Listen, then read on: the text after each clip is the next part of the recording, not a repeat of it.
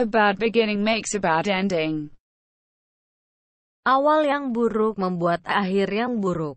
Euripides, Greek, poet, 480 BC to 406 BC. Kau akan temukan hasil yang buruk dari kebiasaan yang buruk.